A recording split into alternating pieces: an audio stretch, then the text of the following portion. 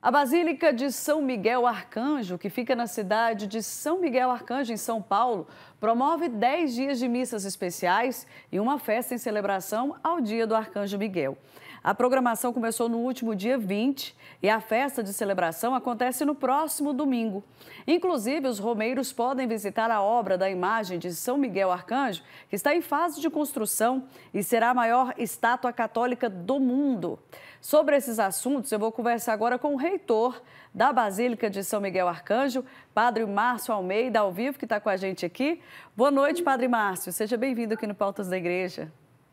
Boa noite, Casey. Boa noite a todos que nos acompanham na TV Pai Eterno, programa Pautas da Igreja. Uma alegria poder participar desse momento com vocês. Alegria toda nossa, Padre.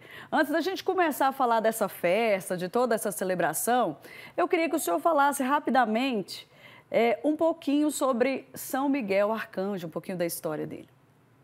São Miguel Arcanjo é o defensor do povo de Deus.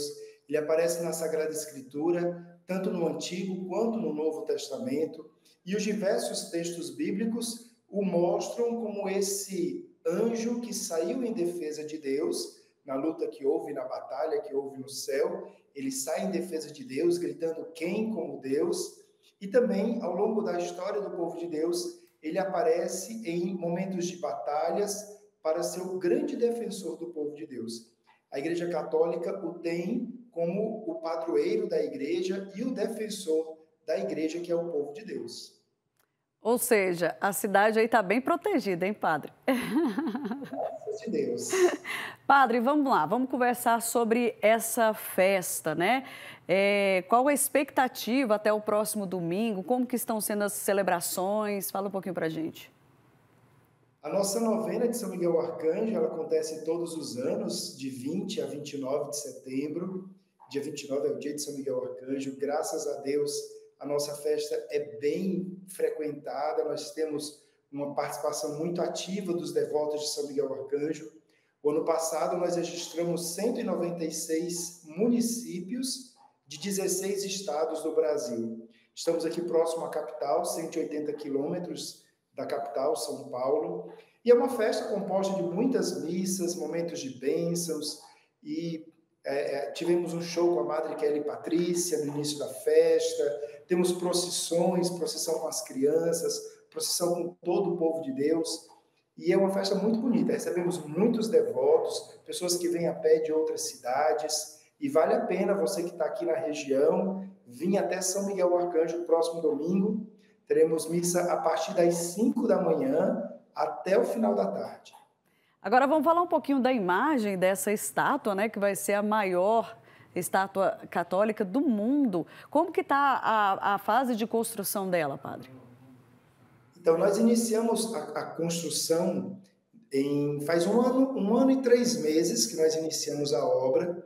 Nós estamos com um prédio pronto, na fase de pré-acabamento, que é um prédio de apoio com os banheiros, esse prédio que você vê assim ao lado, né, que tem a cúpula, esse prédio ele já está pronto, ali a gente vai ter banheiros, refeitórios e um auditório é, para acolher as pessoas. Agora, as peças da estátua já estão prontas, inclusive a cabeça já está concretada, e agora, até o final do ano, nós iniciamos a construção do prédio da estátua.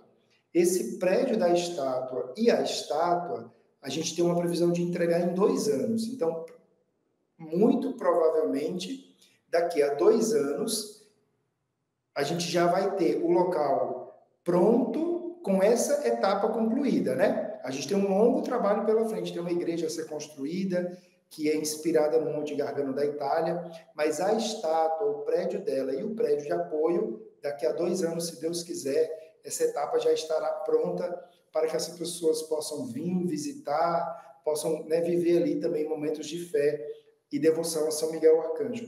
Já existe visitação hoje, o canteiro de obra é aberto para quem quiser visitar, mas em dois anos a estátua estará pronta, com a graça de Deus. Então, quem for à festa esse ano já pode ver alguma coisa ali onde a estátua está sendo feita? Pode sim. É, a gente abre cedo, né, por volta de 8, 9 horas da manhã, e fica até às 17, às vezes até 18 horas, é, para que as pessoas possam visitar. As pessoas têm ido bastante, né, tirar foto com a cabeça de São Miguel, ali a gente já tem a espada, a balança, as asas, tem várias peças é, para que as pessoas até entendam né, a dimensão, porque é uma estátua de 70 metros de altura, a gente está falando praticamente em dois Cristos redentores, né, um Cristo sobre o outro. Então é realmente um projeto assim grande, é, que chama atenção e as pessoas ficam assim admiradas quando vão lá visitar. Projeto muito bonito, a gente está vendo aí, né? Em 3D o projeto. Bonito e ousado. Parabéns, viu, padre, para todos vocês aí. muito obrigada, viu, pela participação do senhor. Seja sempre muito bem-vindo aqui no Pautas da Igreja. Eu que agradeço. Se você puder divulgar aí, arroba Basílica de São Miguel Arcanjo, as pessoas podem então nos acompanhar e ver a, a etapa, as etapas da obra acontecendo. Como é que é o arroba? Arroba Basílica de São Miguel. Basílica de São Miguel Arcanjo. Combinado, então, gente. Entra lá para vocês conhecerem mais um pouquinho esse projeto. Obrigada, viu, padre? Fica com Deus. Que agradeço. Deus abençoe. Amém. Tchau, tchau.